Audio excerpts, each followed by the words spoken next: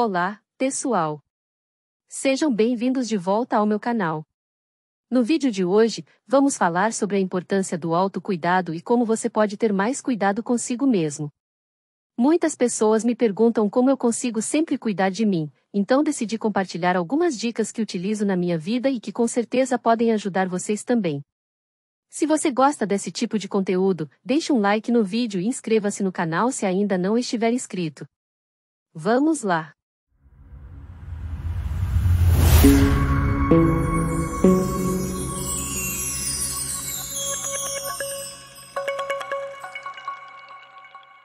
Criando uma rotina de autocuidado. Uma das coisas mais importantes para ter um cuidado constante consigo mesma é criar uma rotina. Algumas pessoas não gostam de rotina, mas ela pode ser muito útil para garantir que você cuide de si mesma. Quando você estabelece uma rotina, consegue se organizar e garantir que terá tempo para se cuidar. É como quando você os dentes todos os dias, isso se torna um hábito. Então, incluindo o autocuidado na sua rotina diária. Priorizando o autocuidado. Outro aspecto importante é tornar o autocuidado uma prioridade na sua vida.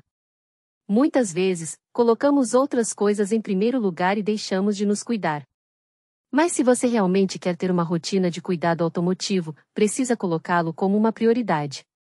Assim como você cuida da sua família, da sua casa e do seu trabalho, também precisa cuidar de si mesmo. Isso não é egoísmo, é uma necessidade de viver bem consigo mesmo e transmitir uma imagem positiva para o mundo. Deixando as desculpas de lado. É hora de parar de dar desculpas e pensar nas outras pessoas. Muitas vezes, pensamos que só é possível se tivermos dinheiro ou se alguém fizer algo por nós. Mas isso não é verdade. Cada um vive a sua própria vida e precisa focar em si mesmo. Não podemos depender das emoções ou comparar nossa vida com a dos outros.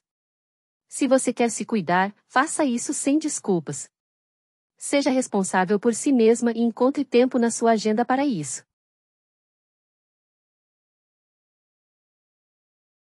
se olhando com amor.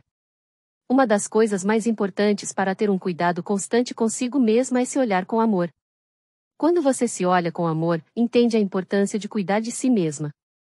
Olhe-se no espelho e perceba que você é único.